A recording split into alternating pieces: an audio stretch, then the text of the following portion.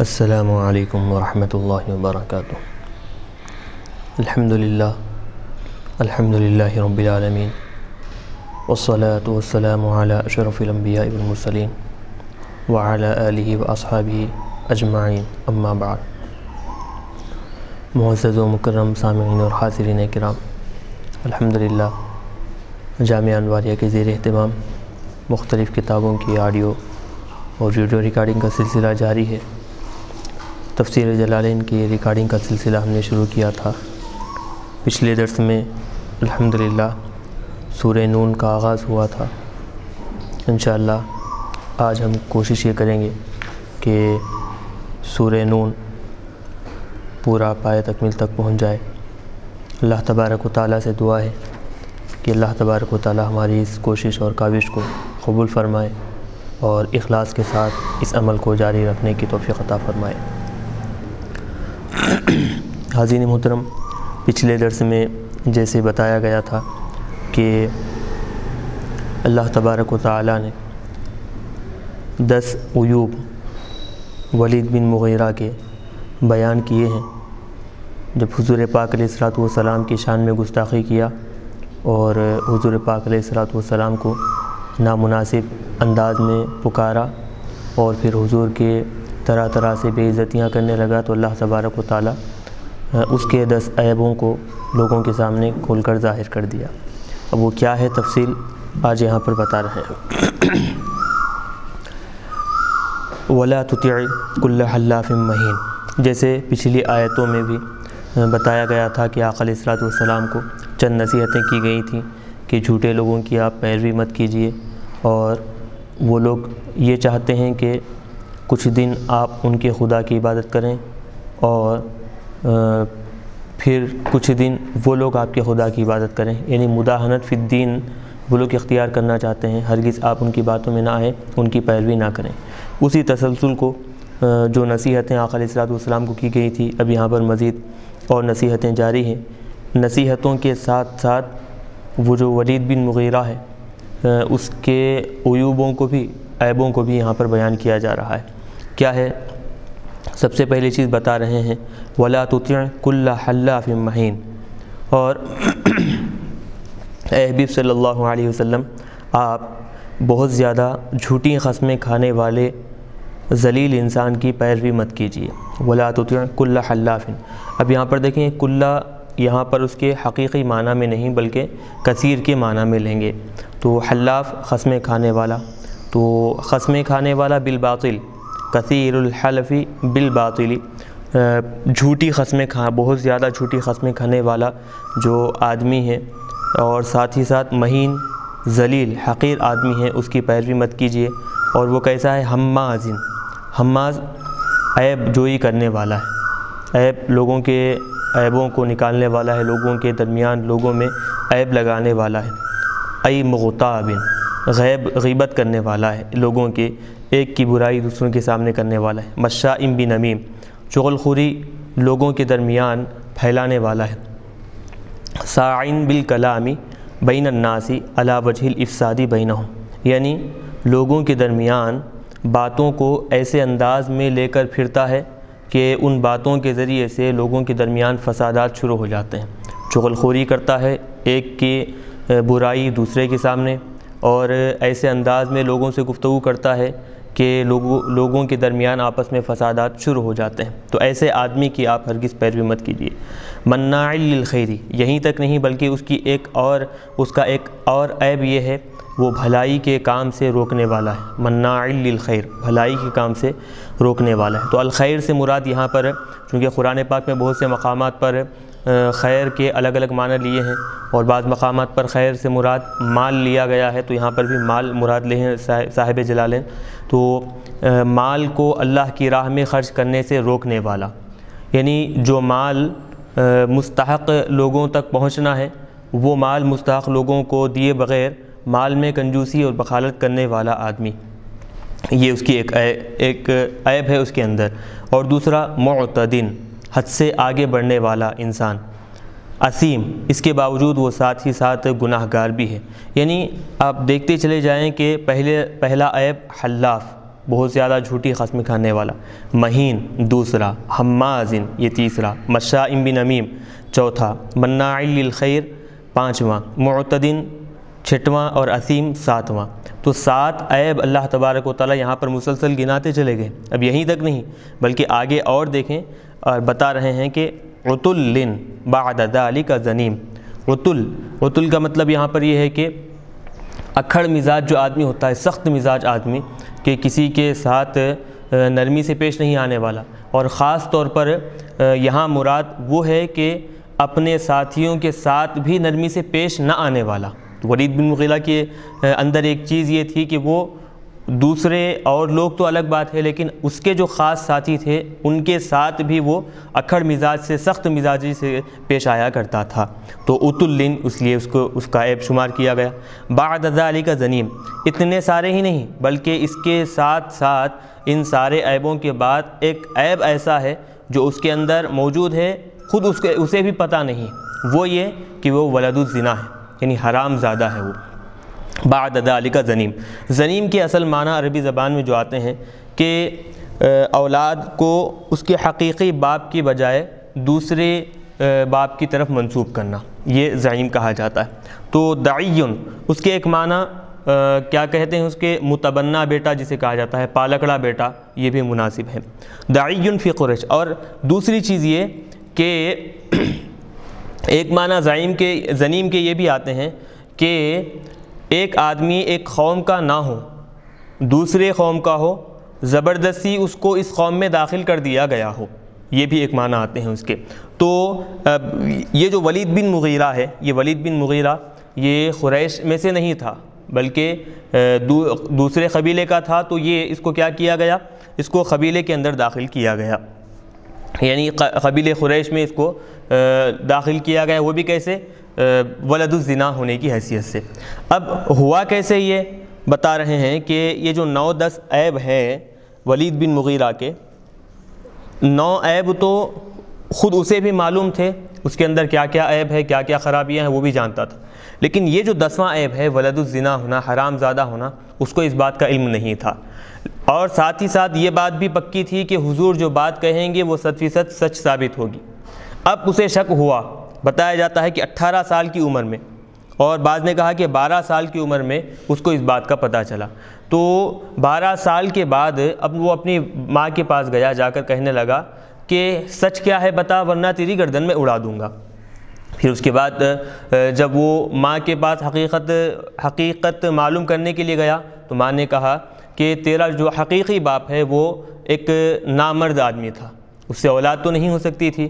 اور تیرے جو چچا زاد بھائی ہیں، وہ یہ خواہش کیا کرتے کہ جیسے ہی تیرے باپ کا انتقال ہو جائے، میرا انتقال ہو جائے، جتنا سارا مال ہے وہ سارا کا سارا مال وہ چچا زاد بھائی چچارے چچیرے جو بھائی ہے وہ سارے کے سارے مال کو ہڑپ لیں، ان کا یہ ارادہ تھا۔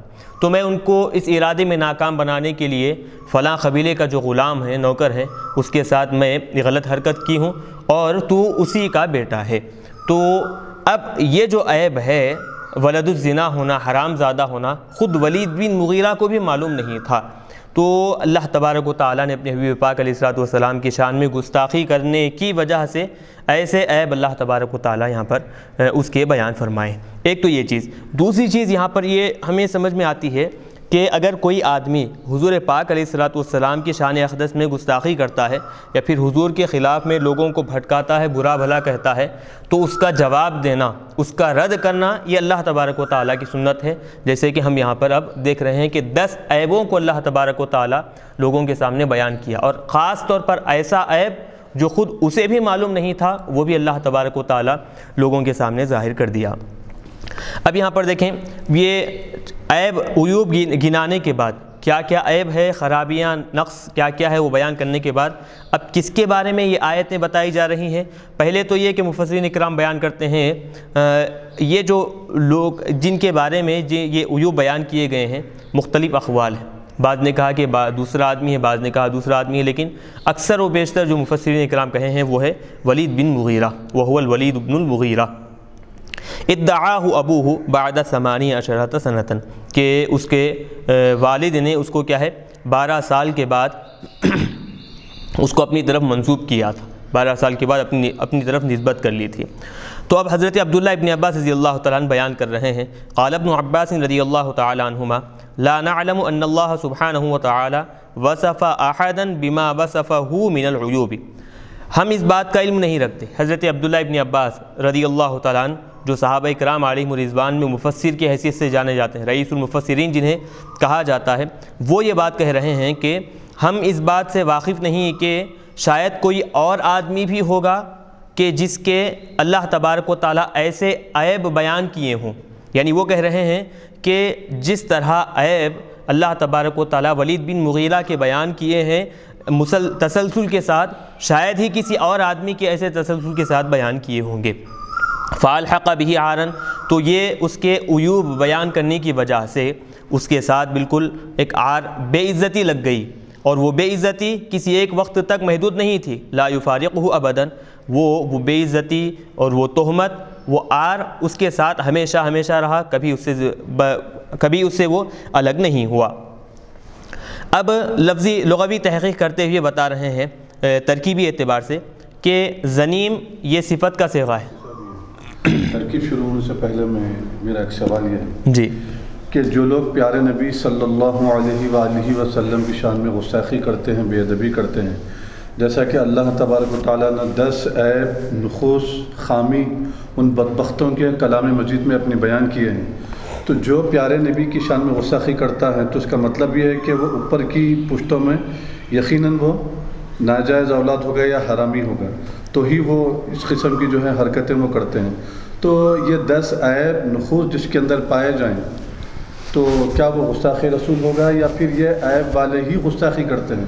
ایسا کچھ اس سے ظاہر ہوتا ہے کیا اس آیت مبارک یہ جو لفظ بیان کیا گیا ہے بعد ذالک دنیم سے، تو اس کے، اس لفظ سے بعض لوگ یہ کہے بھی ہیں اور بتائے بھی ہیں کہ یقیناً ایسا عمل ہوا کرتا ہے کہ اگر کوئی حضور کی شان میں گستاخی کرتا ہے تو آگے اگر اس کے تسلسل کو ہم دیکھتے ہیں، اس کے سلسلے نصب کو دیکھتے ہیں، تو کوئی ایسی غلط حرکت اس کے خاندان میں سرزد ہوئی ہوگی کہ جس کی وجہ سے وہ اس طرح حضور پاک علیہ السلام والسلام کی شان میں گستاخی کرتا ہے؟ تو بہرحال اللہ تبارک و تعالیٰ سے دعا ہے کہ اللہ تبارک و تعالیٰ ہمیں اس طرح کے عمل کرنے سے بچائے اور جو لوگ اس طرح کا کام کرتے ہیں، اللہ تبارک و تعالیٰ ان کو بھی ہدایت عطا فرمائے۔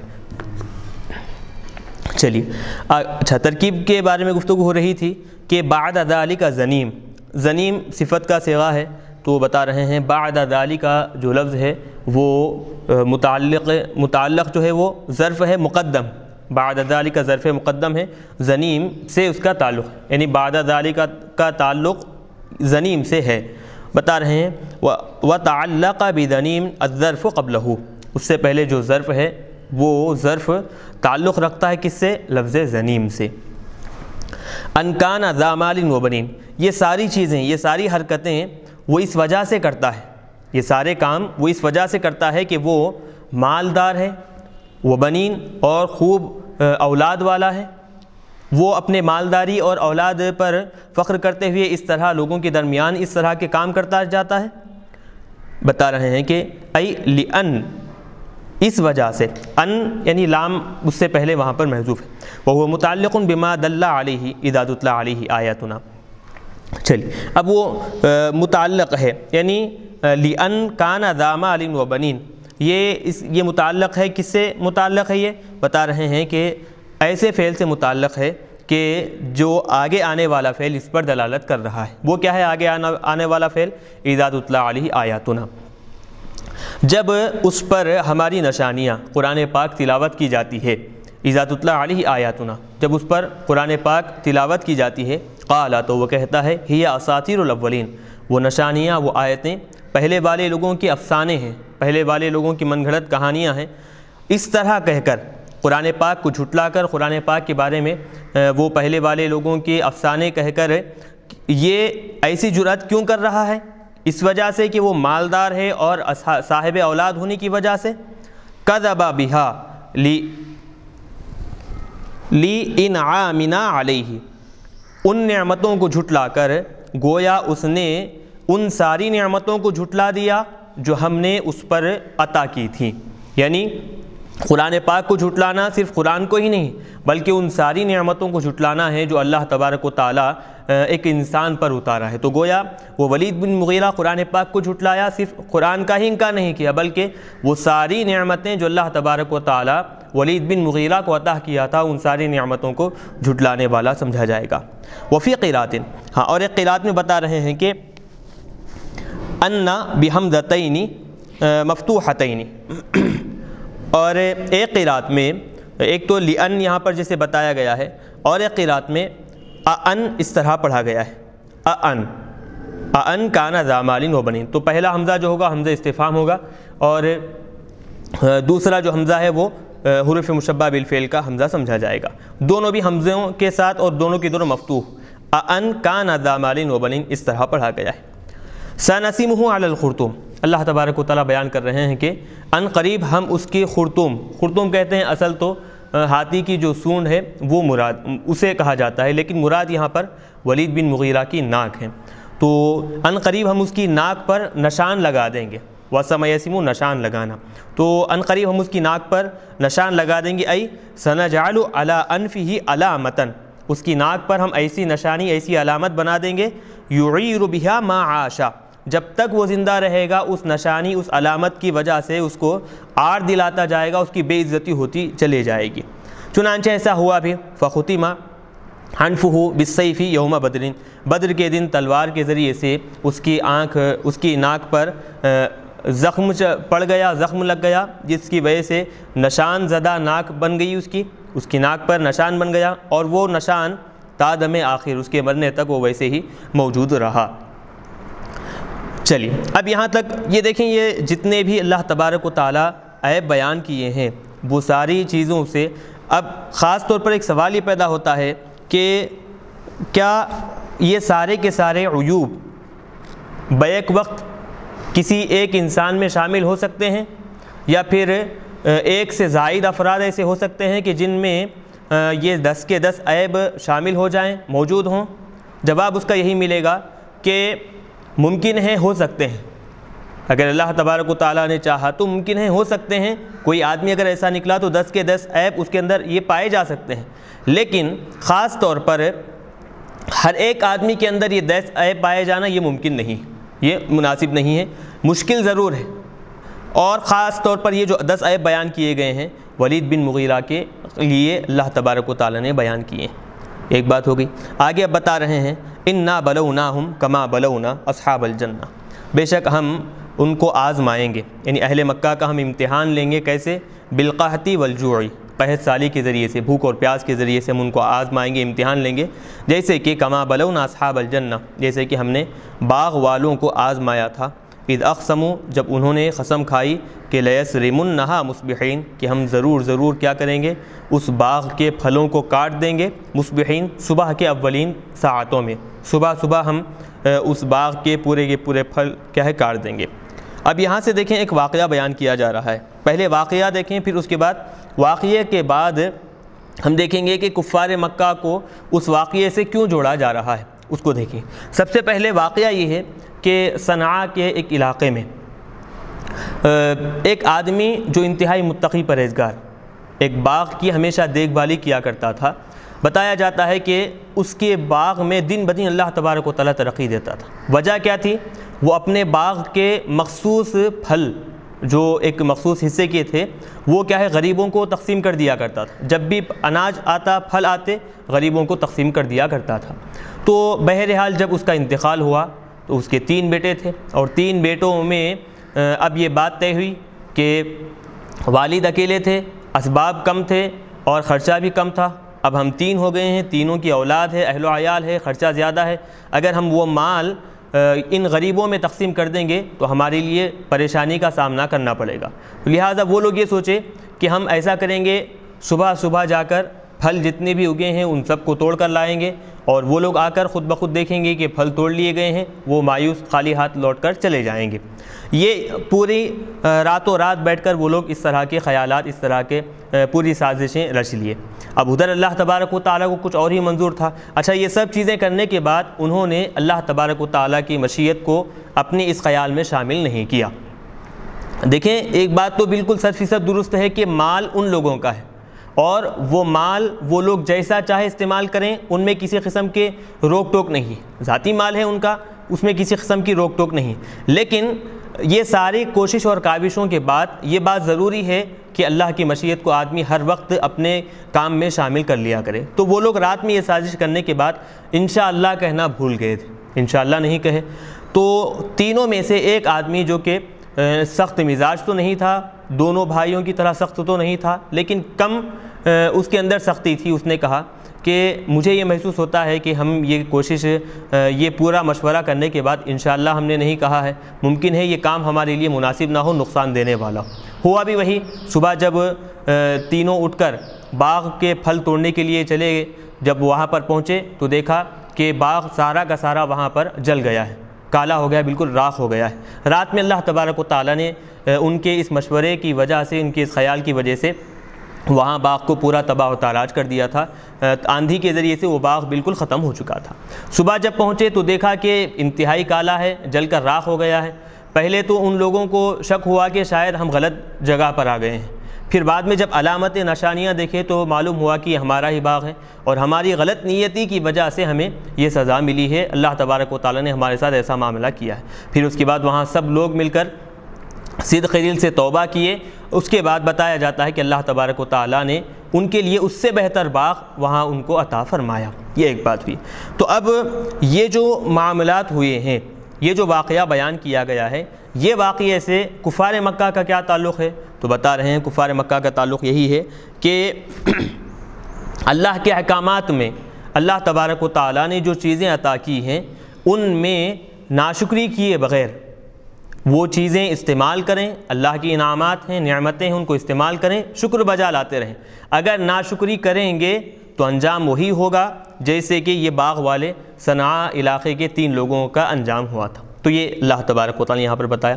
اور اس واقعے کے ذریعے سے کفار مکہ کو خاص طور پر نصیحت دینا ہے۔ اگرچہ کہ یہ خاص نصیحت ان لوگوں کے لیے ہے اور عمومی طور پر نصیحت ساری امت محمدیہ کے لیے ہوگی کہ آدمی جب اپنے کام میں غلط نیتی شامل کر لیتا ہے تو اللہ تبارک و تعالیٰ اس کی غلط نیت کی وجہ سے اس کے کام میں رکاوٹیں آ جاتی ہیں یا پھر وہ کام ہی تباہ و تاراج ہو کر رہ جاتا ہے۔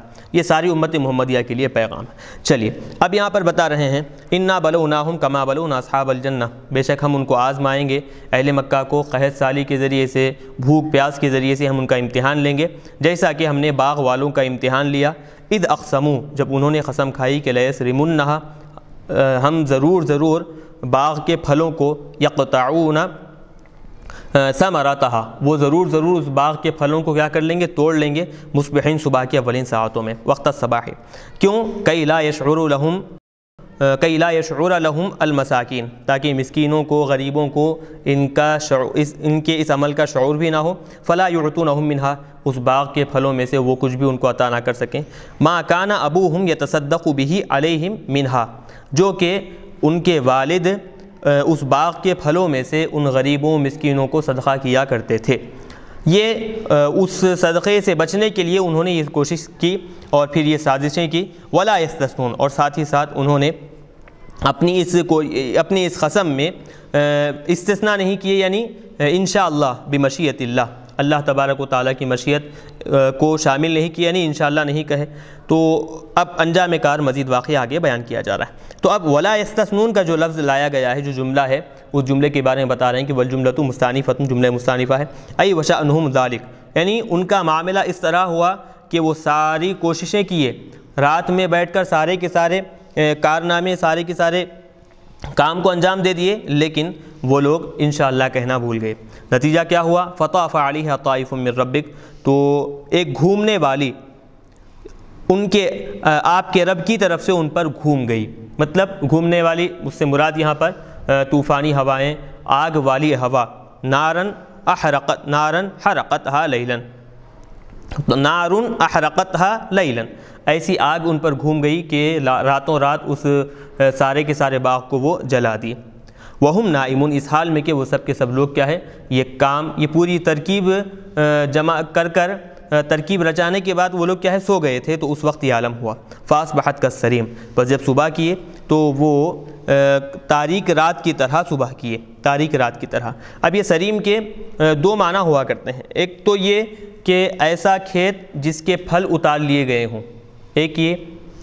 دوسرے سریم کے ایک معنی یہ آتے ہیں کہ ایسا علاقہ جسے جلا کر بالکل کالا کر دیا گیا ہو، راغ بنا دیا گیا ہو، اس کو بھی یہاں پر کہا جاتا ہے۔ تو کلیلی شدید ظلمتی انتہائی تاریک رات کی طرح وہ لوگ صبح کیے یعنی سودا۔ مطلب یہ کہ انتہائی تاریک رات کی طرح صبح کیے صبح کیے مطلب صبح کے اولین ساعتوں میں جب ابھی تاریک رات، تاریکی رات کی موجود تھی، اس وقت وہ لوگ صبح کیے۔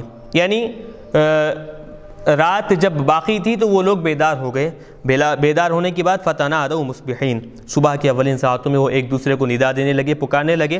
کیا کہہ کر؟ انیغدو علی حرتکم کہ تم صبح صبح نکلو تمہاری کھیت پر۔ یعنی غلطکم تم غلطکم تمہارا جو اناج ہے، اس کو حاصل کرنے کے لیے تم صبح کے اولین ساعتوں میں نکلو۔ اب یہ ان کے بارے میں بتا رہے ہیں۔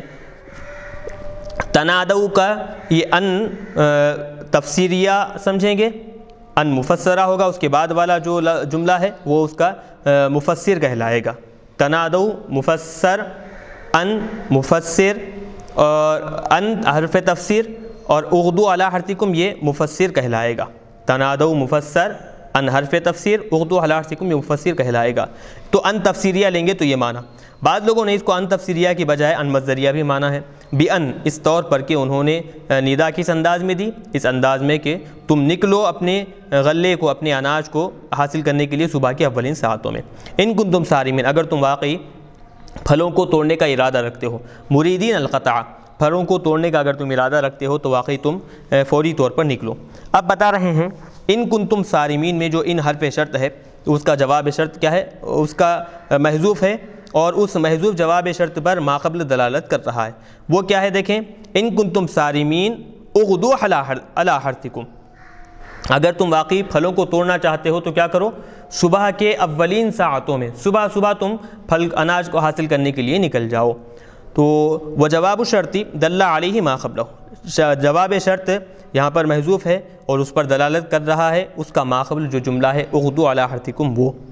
فن تلقو چنانچہ وہ لوگ چلے، وہم یتخافتن اور وہ آپس میں ایک دوسرے سے آہستہ آہستہ گفتگو کر رہے تھے۔ چھپ چھپ کر پوشیدہ طور پر وہ لوگ گفتگو کر رہے تھے۔ اللہ یدخل النحل علیکم مسکین، کہیں ان پر، اس باغ پر آج کوئی بھی مسکین داخل نہ ہو جائے۔ کوئی بھی مسکین مال حاصل کرنے کے لیے اس باغ کے پاس داخل نہ ہو۔ اس ارادے سے وہ لوگ کیا کر رہے تھے؟ ایک تو چھپ چھپ کر جا رہے تھے اور دوسری جب گفتگو کرنا ہو تو آپس میں آہستہ آہستہ گفتگو کر رہے تھے۔ اب وہی جیسے ان بتا رہے ہیں کہ یا تو ان تفسیریہ ہوگا یا پھر ان مزدریہ ہوگا۔ پہلے جیسے بتایا گیا، وہ بھی یہاں پر بھی وہی معنی لیں گے۔ وغد والا ہر دن قادرین اور وہ صبح کے وقت نکلے۔ اس ارادے پر کہ فقیر جو لوگ ہیں، جو اس کھیت میں سے لے لیتے ہیں، ان کو روکنے پر یہ لوگ قادر ہیں، یہ سمجھتے ہوئے نکلے۔ وغدو علا ہر دن ہر دن منعن للفقری فقرائی فقیروں کو روکنے پر یہ لوگ قادر ہیں، اس ارادہ کرتے ہوئے۔ علیہ فی ظنہم، ان کی گمان کے مطابق ان کا یہ ارادہ تھا۔ بہرحال، فلما رعوہا پس جب وہ وہاں باغ کے پاس گئے اور باغ کو دیکھا سودا محرقتاً بالکل محرقتاً، بالکل کالا اور جلا ہوا دیکھیں۔ قالو، انہوں نے کہا، انا لضالون. بے شک ہم تو کیا ہے، راستہ بھٹک گئے ہیں اس کھیت سے، اس باغ سے۔ یعنی لیست ہادی یہ ہمارا باغ نہیں ہے۔ ثم قالو لما علمو پھر جب ان کو اس بات کا پتہ چلا، جب وہ غور و فکر کیے، نشانات کے ذریعے سے معلومات حاصل کیے، تو انہوں نے کہا، بل نحن محرومون۔ بلکہ یہ باغ ہمارا ہی ہے، لیکن ہم اس باغ کے اناج سے محروم کر دیے گئے ہیں۔ ثمرتها اس باغ کے پھلوں سے ہم ہم محروم کر دیے گئے ہیں کیوں؟ بیمن عین الفقراء منہا ان پھلوں سے ہم جو فقراء کو روک دیے تھے، فقراء کو نہ دینا چاہتے تھے، اس کی وجہ سے ہمیں اس اس باغ کے پھلوں سے پورا ہی محروم کر دیا گیا ہے۔ خالہ اوسطہم ان میں کا جو درمیانی تھا یعنی دونوں کے مقابلے میں وہ تھوڑا سا بہتر تھا، بہترین بھلائی والا تھا۔ اس نے کہا علم اقلکم کیا میں نے تم سے نہیں کہا تھا کہ لولا تصبحون کہ تم نے یہ کام کرنے کے بعد اللہ تبارک و تعالیٰ کی تسبیح کیوں نہیں بیان کی؟ پھر اس کے بعد جب ان کو ان کی غلطی کا احساس ہوا، تائبین توبہ کیے۔ قالو انہوں نے کہا، سبحان ربنا انا کنہ ظالمین۔ ہمارا رب بالکل پاک ہے، بے شک ہم ہی اپنے اوپر ظلم کر لیے تھے۔ بیمن الفقرائی حق کہ فقراء محتاج جو لوگ ہیں، مساکین جو ہیں، ان کو ان کا حق ادا کیے بغیر ان کو روک کر ہم ہی اپنے اوپر ظلم کیے۔ فاق بلا بعضهم على بعض پس ایک دوسرے کو وہاں پر ملامت کرنے لگے۔ قالو، پھر انہوں نے کہا، یا ویلنا، ہائے ہمارے لیے ہلاکت، انا کننا طاغین۔ یا تنبیہ کے لیے لائی گئی ہے۔ ویلنا، ای ہلاکنا۔ ہائے ہمارے لیے ہلاکت، انا کننا تاغین بے شک ہم ہی سرکش لوگوں میں سے تھے، سرکشی کرنے والے میں سے تھے۔ عصا ربنا، امید ہے کہ ہمارا رب این یبدیلنا این یبدیلنا تجدید کے ساتھ اور تخفیف کے ساتھ دو طرح اس کو پڑھا گیا ہے۔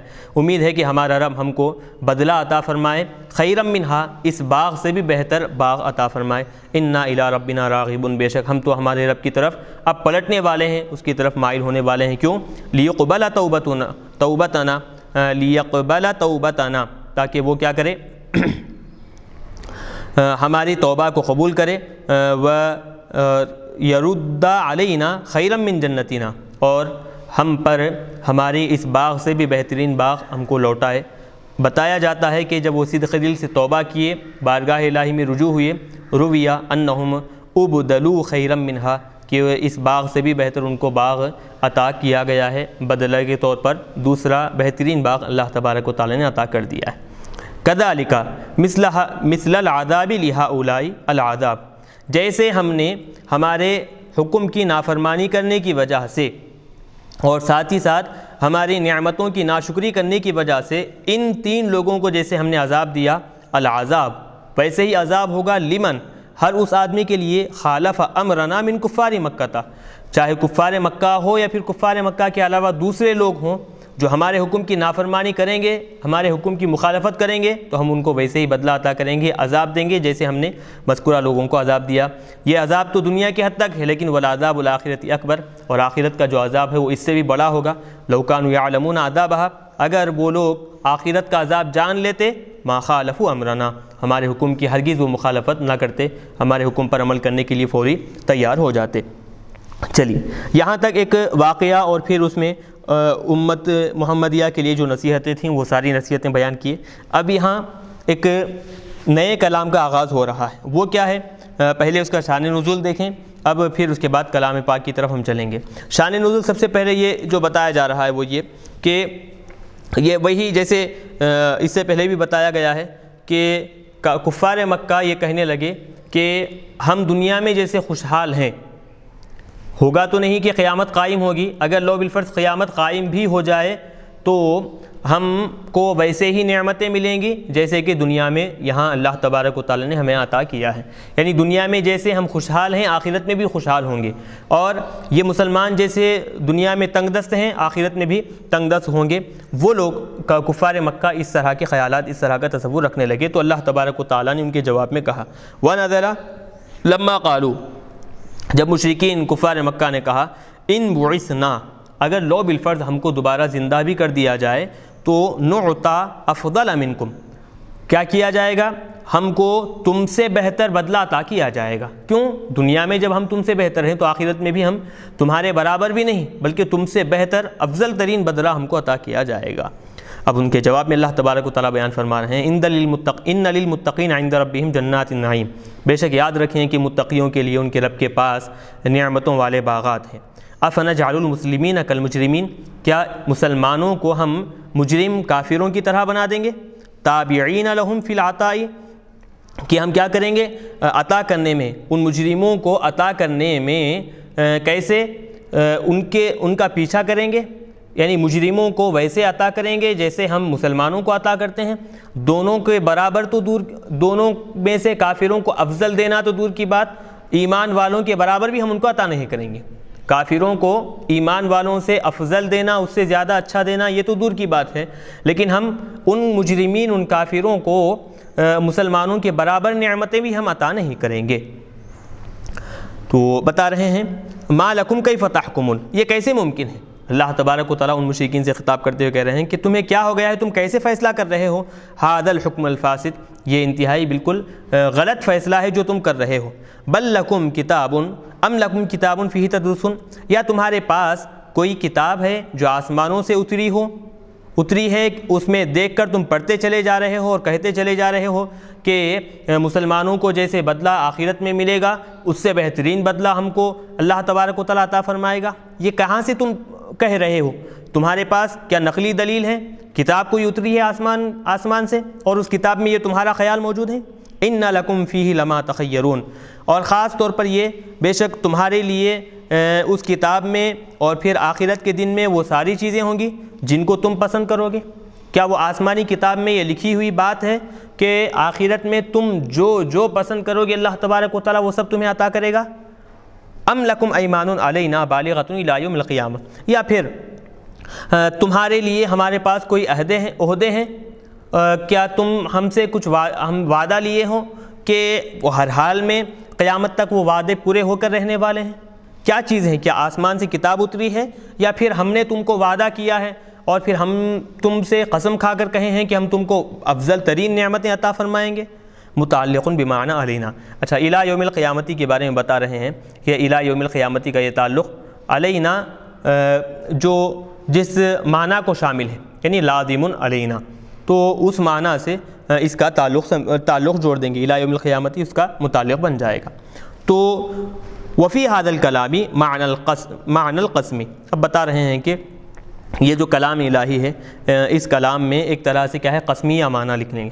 ائی اقسمنا لکم، کیا ہم نے تمہارے لیے قسمیں کھائی ہیں؟ کہ تم اور قسمیں کھا کر یہ کہا ہے کہ تم کو ایمان والوں سے بھی افضل ترین نعمتیں عطا فرمائیں گے؟ اب جب قسم ہے تو جواب قسم کیا ہے؟ بتا رہے ہیں، ان لکم لما تحکمن کہ بے شک تمہارے لیے وہ ساری چیزیں ہوں گی جو تم فیصلہ کر لو گے۔ یعنی جو اپنے لیے تم منتخب کرو گے، اپنے لیے جو پسند کرو گے، جو چاہو گے، جو فیصلہ کر لو گے، کیا وہی اللہ تبارک و تعالیٰ فیصلہ کر کر دے دے گا؟ اللہ کا کوئی فیصلہ وہاں پر نہیں ہوگا۔ تمہارے فیصلے کے حساب سے سب کچھ دیا جائے گا۔ تو یہ تین چار آیتیں جو ہیں یہاں سے، وہ اللہ تبارک و تعالیٰ اس میں ان سے استفہام انکاری کے طور پر سوال کر رہا ہے اور پوچھ رہا ہے کہ یہ ساری چیزیں تم نے کیسے سمجھ لیں؟ یہ خیالات تمہارے ذہن میں کیسے آ گئے؟ کیا یہ نقلی دلائل کتاب میں پڑھ کر تم نے ایسا سمجھا ہے؟ یا پھر اللہ نے تم سے وعدہ کیا ہے کہ تم جو چاہو گے اللہ تبارک و تعالیٰ تم کو عطا کرے گا؟ اس طرح کی بات ہے آگے اور اسی طرح تسلسل کو جاری رکھ رہے ہیں۔ سلہم ایہم بدالی کا ضعیم آپ ان سے پوچھئے کہ ان میں سے یعنی ان فیصلہ کرنے والوں میں سے اس کا ذمہ دار کون ہے؟ یہ جو فیصلہ کر لیے ہیں وہ لوگ، اس فیصلے کا ذمہ دار کفیل کون ہے؟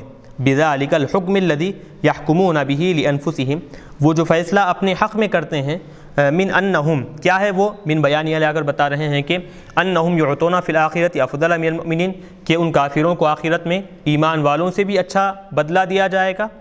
کون اس کا ذمہ دار ہے؟ کفیل لہم۔ ان کا ذمہ دار کفیل کون ہے؟ ام لہم عندہم شرکا یا پھر ان کے پاس ہاں، کوئی شریک ہیں، کوئی پارٹنر ہیں، کیا پھر کوئی گواہ ہیں؟ موافقون لہم فی حاد القول، جو ان کی موافقت کرتے ہوں، جو ان کی تائید کرتے ہوں اس بات میں، یکفلون لہم فی بھی اس قول میں، اس بام، اس معاملے میں وہ ان کی کفالت کرتے ہوں، ذمہ داری سنبھالتے ہوں۔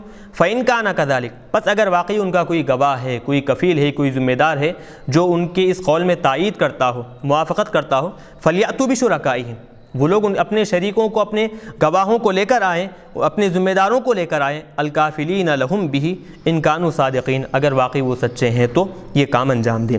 تو بہرحال یہ ساری آیتیں جو ام لکم کتابن سے شروع ہوئی تھیں، اس میں اللہ تبارک و تعالیٰ ایک استفاع میں ایک تو یوں سمجھیں کہ ڈانٹنا اس میں اصل مقصد ہے۔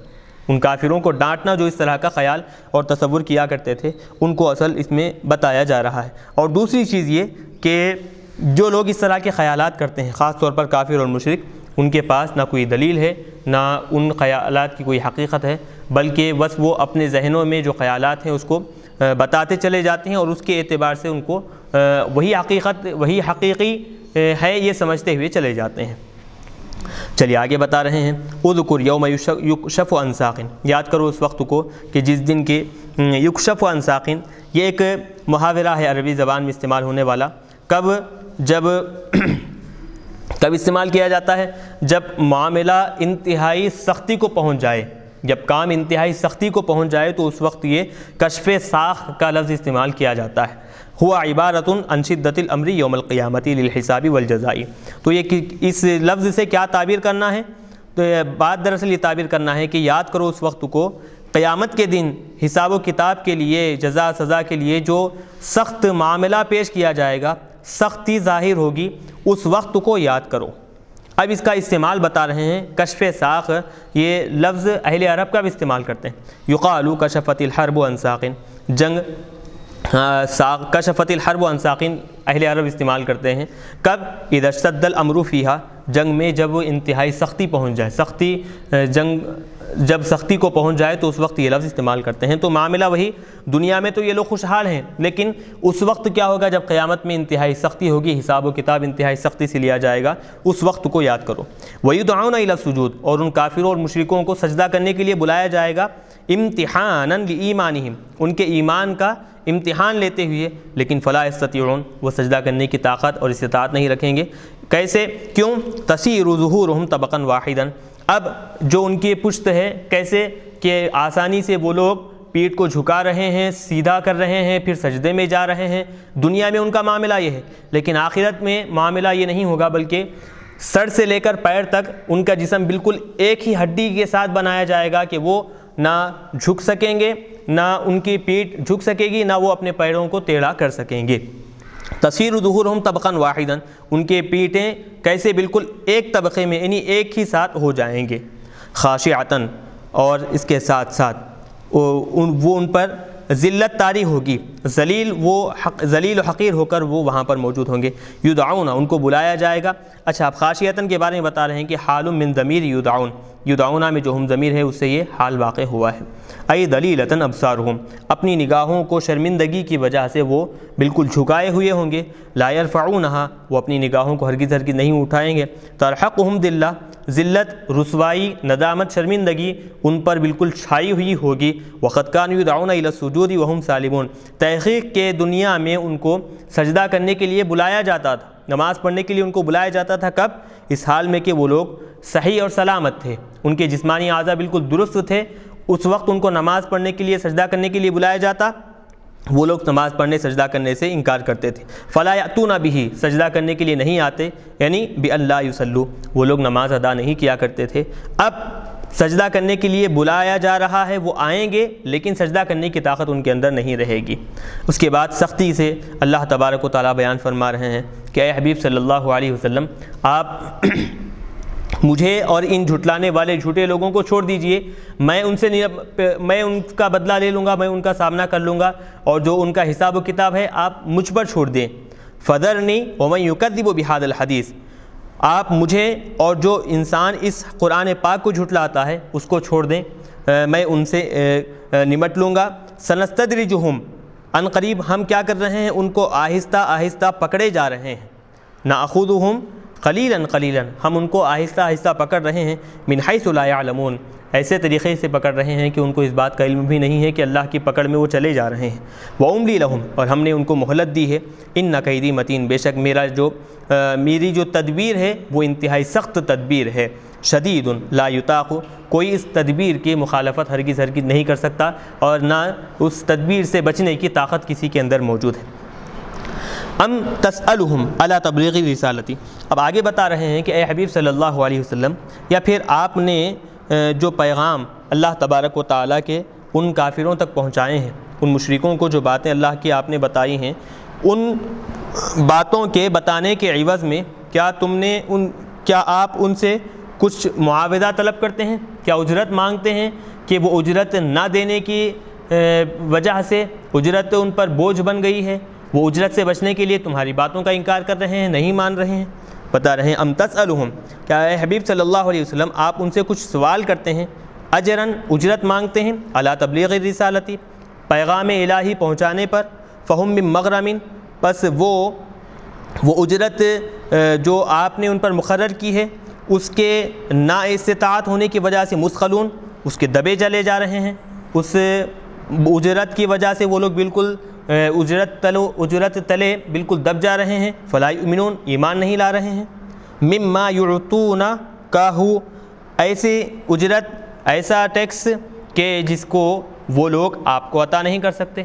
یعنی مطلب یہ کہ کیا آپ حضور پاک علیہ السلام سے خطاب ہو رہا ہے کہ کیا آپ ان سے پیغام الہی جو پہنچا رہے ہیں، اس کے بدلے میں کوئی مال آپ ان سے طلب کر رہے ہیں کہ ان کے پاس مال نہیں ہے؟ اگر آپ مال طلب کر رہے ہیں، تو مال ان کے پاس نہ ہونے کی وجہ سے وہ آپ کی باتوں نہیں مان رہے ہیں، ایمان نہیں لا رہے ہیں۔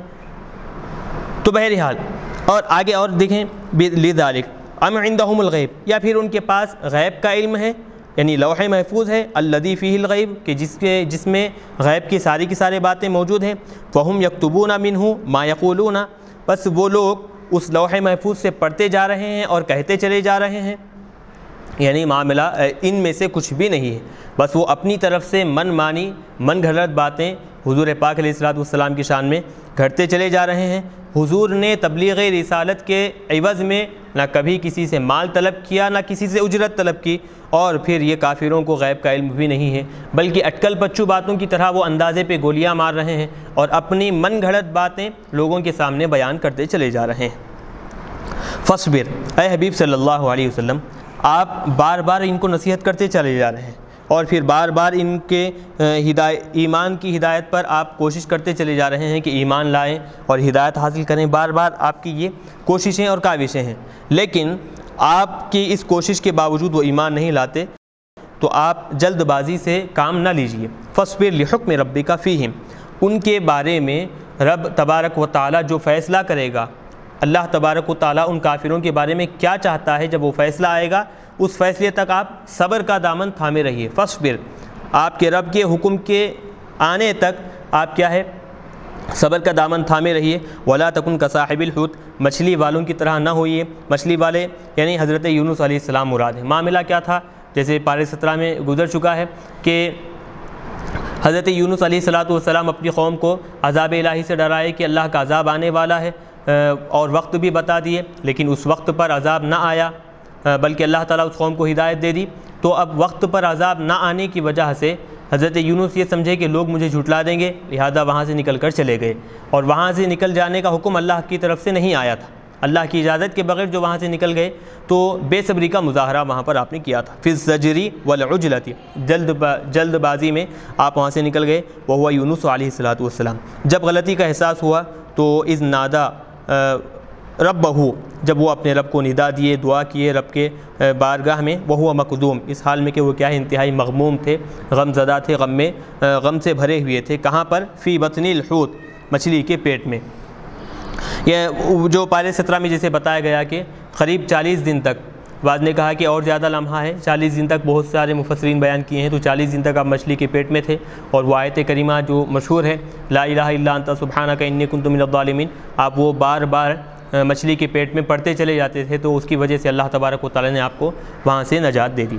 ولولا ان تدارکہ نعمت من ربہ اگر اللہ تبارک و تعالیٰ اپنی رحمت سے ان کو نہ پکڑ لیتا، اپنی رحمت کے آغوش میں ان کو نہ لے لیتا لنوبد بالعرائی، تو ضرور ضرور مچھلی کے پیٹ سے ان کو ایک خالی زمین پر، زمین کے خالی حصے پر ان کو پھینک دیا جاتا۔ وہ ہوا مضموم اس حال میں کہ وہ کیسے ہوتے؟ مضموم انتہائی مذمت کیے ہوئے ان کی برائی کی جاتی۔ ایسی حالت میں ان کو وہاں پر پیش کیا جاتا، وہاں وہ رونق افروز ہوتے۔ لیکن نہ ہو لیکن چونکہ رحمت خداوندی نے ان کو اپنے آغوش میں لے لیا ہے، اور وہاں اللہ تبارک و تعالیٰ سے بار بار وہ دعا کرتے چلے گئے ہیں، اللہ تبارک و تعالیٰ مچھلی کو حکم دیا کہ وہ مچھلی سمندر کے کنارے پر آپ کو ڈال دی، لیکن صرف بیماری کی حالت آپ پر تاری تھی۔ وہ مضموم اور پھر بے عزتی آپ کی اللہ تبارک و تعالیٰ نے وہاں پر نہیں کی۔ لیکن روحیمہ لیکن آپ پر رحم کیا گیا۔ فنوبدہ غیرہ مضموم غیرہ مضمومن، بس آپ کو وہاں پر ڈال دیا گیا۔ اس حال میں کہ مضموم نہیں تھے یعنی آپ کی مذمت نہیں کی گئی تھی، بے عزتی نہیں کی گئی تھی، بس سقیم تھے آپ۔ جیسے پارے تیئیس میں بتایا گیا کہ جب آپ مچھلی کے پیٹ سے باہر نکلے تو انتہائی کمزور ہو گئے تھے، چہرے پر، جسم پر جھلی کی طرح چمڑا بن گیا تھا۔ تو بیمار ہو گئے تھے ضرور، لیکن مذمت بے عزتی آپ کی اللہ تبارک و تعالیٰ نے نہیں کی. کیوں؟ کیونکہ وہ جو ذکر بار بار اللہ تبارک و تعالیٰ کا کرتے جاتے تھے، اس ذکر کی وجہ سے. فرش تباہ رب ہو پھر اس کے بعد آپ کو آپ کے رب نے نبوت کے ذریعے سے منتخب کیا، چن لیا. فجعلہ من الصالحین. پس اللہ تبارک و تعالیٰ نے آپ کو نیک و کار اور لوگوں میں سے، انبیاء کرام میں سے بنا دیا. وہیں یقاد الدین کفر الخون کا ہاں اب یہاں پر آگے ایک چیز بیان کر رہے ہیں، وہ اس کا مفہوم سمجھ لیں کہ حضور پاک علیہ السلاۃ والسلام جب بھی کوئی قرآن پاک کی آیت کافروں کو سناتے، کافر انتہائی آگ بگولا ہو جاتے، اتنی سخت انداز سے حضور کو دیکھا کرتے، قریب، یوں محسوس ہوتا کہ قریب ہے، اب وہ لوگ ایک ساتھ پورے مل کر حضور پر حملہ کریں گے اور حضور کو ختم کر دیں گے۔ ایسے سخت انداز میں حضور کی طرف دیکھا کرتے تھے یعنی کہ بد نظری سے حضور کی طرف دیکھا کرتے تھے۔ اور ایک واقعہ خاص طور پر جو یہاں پر بیان کیا گیا ہے ایک قبیلہ غالباً قبیلہ بنو اسد جسے کہا جاتا ہے۔ تو اس قبیلے کے چند لوگ ایسے تھے جو بد نظری میں بہت زیادہ مشہور تھے۔ کیا کرتے وہ؟ جب بھی کسی چیز کو نظر لگانا ہوتا تو پہلے تین دن کا فاقہ کرتے، کھانا پینا چھوڑ دیتے۔ اس کے بعد اس علاقے میں، اس زمین پر یا پھر جس چیز کو بھی نظر لگانا ہوتا، جانوروں پر یا پھر کسی گھر وغیرہ پر، تو وہ لوگ جاتے اور پھر وہاں اپنی خواہش کا اظہار کرتے۔ ایسی خوبصورت گائے ہے، ایسی خوبصورت اونٹنی ہے، یا پھر اتنا اچھا مکان ہے، اتنا اچھا مقام ہے کہ آج تک ہم نے ایسا خوبصورت مکان، خوبصورت چیز نہیں دیکھی۔ تو وہاں پر جیسے ہی نظر لگاتے، فوری طور پر وہ چیز وہیں کی وہیں ختم ہو جاتی۔ اور بہت سارے ایسے واقعات اس قبیلے کے مشہور ہے جو بد نظری کے طور پر پیش کیے جاتے ہیں۔ تو کفار مکہ حضور پاک علیہ السلاۃ والسلام کو نظر لگانے کے لیے اس قبیلے کے چند لوگوں کو منتخب کر لیے اور بتایا کہ ہم روپیہ پیسہ دیں گے، معاوضہ دیں گے، تم حضور کو نظر لگاؤ۔ تو اس طرح کے خیالات کرتے ہوئے حضور کو نظر لگانے کے لیے منتخب کیے۔ تو، اب اس کے بارے میں بتا رہے ہیں، وَإِن يَقَادُ الَّذِينَ كَفَرُوا لَيُزْلِقُونَ كَبِ أَبْصَارِهِمْ خریب ہے کہ کافر ضرور ضرور آپ کو کیا کریں گے؟ لَيُزْلِقُونَ کا ازلق یزلقو باب فال سے بھی پڑھا گیا ہے ذلقا یزلقو زبر سے بھی پڑھا گیا ہے۔ لیزلقون کا لیزلقون کا آپ کو بیاب صارحم اپنی نگاہوں سے پھسلا دیں گے، اپنی نگاہوں سے گرا دیں گے۔ ای، یندرون الیک کا نظراً شدیداً۔ وہ آپ کی طرف ایسی سخت نگاہ سے دیکھتے ہیں یقاد ان یسرع کا قریب ہے کہ وہ آپ کو پچھاڑ دیں گے وہ آپ پر حملہ کریں گے۔ ویسخوتا کا ان مکانک۔ آپ کو اپنی جگہ سے وہ گرا دیں گے۔ لمحہ سمع ذکر کب ان پر ایسی حالت تاری ہوتی ہے؟ جب قرآن پاک کو سنتے ہیں، فوری طور پر ان کا یہ معاملہ ہو جاتا ہے۔ تو اس آیت میں اور اس آیت کی تفسیر میں مفسرین اکرام بہت ساری باتیں بیان کی ہیں۔ خاص طور پر حضور پاک علیہ السلاۃ والسلام کے بارے میں حضور کے ذریعے سے یہ بات بتائی گئی ہے کہ نظر لگتی ہے۔ نظر لگنے کا جو معاملہ ہے وہ بالکل درست ہے اور العین حق جیسے احادیث میں بھی بیان کیا گیا ہے، وہ بھی درست ہے، صد فیصد درست ہے کہ نظر کا لگنا بالکل حق ہے۔ اب اس آیت کے پیش نظر، چونکہ اس آیت میں نظر بد سے بچنے کا تذکرہ کیا گیا ہے، تو مفسرین کرام اور خاص طور پر حضرت حسن بصیر رضی اللہ تعالیٰ بیان کرتے ہیں کہ اگر کسی چیز کو نظر لگی ہے اس بات کا پورا علم ہو جائے کہ نظر لگی ہے تو یہ آیت کریمہ اس کے لیے زیادہ مفید ہے کہ اس آیت کو پڑھیں، فوری طور پر اس پر دم کریں انشاءاللہ اس کی جو نظر لگی ہے وہ نظر بالکل کیا ہے ختم ہو جائے گی۔ آیت کہاں سے شروع ہو رہی ہے؟ وہیں وہیں یقاد الدین اکفرو لیوز لقون کبھی ابسارہم تو جہاں نظر اتارنے کے بہت سارے طریقے جو لوگ اختیار کرتے ہیں، تو وہاں ان کے لیے ایک قرآنی نسخہ بھی ہے نظر اتارنے کا، وہ یہ قرآن پاک کی اس آیت کو پڑھیں اور دم کریں، انشاءاللہ نظر خود بخود اتر جائے گی۔ چلیے، تو ان کافروں کی یہ حالت کب ہوتی ہے؟ قرآن پاک جب حضور ان کو پڑھ کر سناتے ہیں تو ان کا یہ معاملہ، یہ طریقہ کار ہوا کرتا ہے۔ وہ یقول حسدن ان نحول مجنون اور حضور پاک علیہ السلاۃ والسلام سے حسد کرتے ہوئے، حضور پاک علیہ السلاۃ والسلام سے جلتے ہوئے کہتے ہیں کہ ان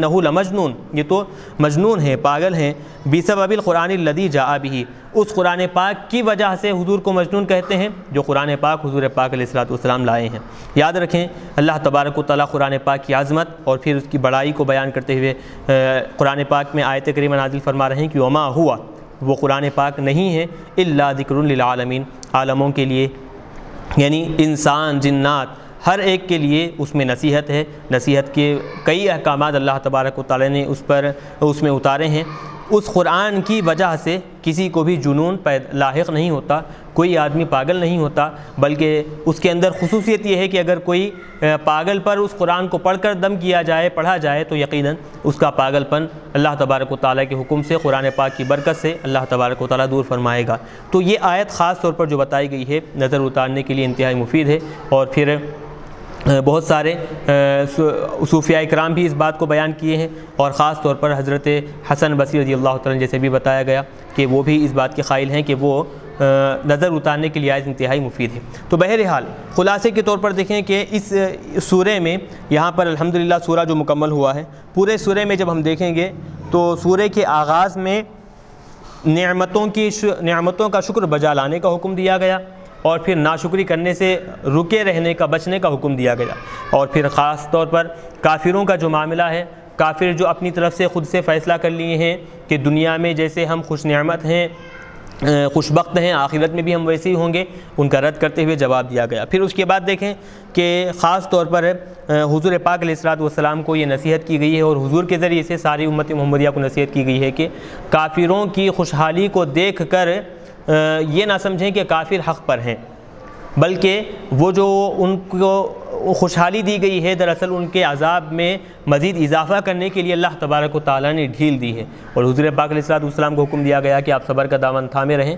حضرت یونس علیہ السلام والسلام کی طرح بے صبری کا مظاہرہ نہ کریں۔ اور یہ جو کافروں کا معاملہ ہے، کافر تو یہ چاہتے ہیں کہ حضور کو ختم کریں، ہر اعتبار سے حضور کا نام و نشان مٹا دیں، لیکن یاد رکھیں کہ اللہ تبارک و تعالیٰ حضور پاک علیہ السلام والسلام کا محافظ ہے، حضور کی حفاظت کرنے والا ہے۔ جب تک اللہ تبارک و تعالیٰ حضور کا محافظ ہے، نہ حضور کے ذات کو کچھ نقصان پہنچنے والا ہے، نہ حضور کی بات کو کچھ نقصان پہنچنے والا ہے، اور حضور کے احکامات سارے کے سارے دنیا میں عام ہو کر رہیں گے۔ اور اللہ تبارک و تعالیٰ ان احکامات کا محافظ ہے۔ جیسے کہ انا نحن نزلنا ذکر و انا له الحافظون کے ذریعے سے اللہ تبارک و تعالیٰ نے بیان فرمایا ہے۔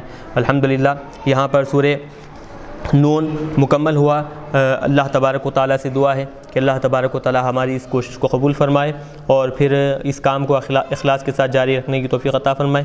اور پھر جو جو حضرات اس کام کے تعاون میں مدد کیے ہیں مدد کیے ہیں تو ان کے کاروبار میں ترقی عطا فرمائے۔ اور پھر ہمارے اس عمل کو ہم سب کے لیے دارین میں نجات کا ذریعہ بنائے۔ و صلی اللہ تعالیٰ وسلم علی خلقی محمد وآلہ علیہ واصحاب اجمعین۔ برحمتک یا رحم الرحمین الحمد للہ رب العالمین۔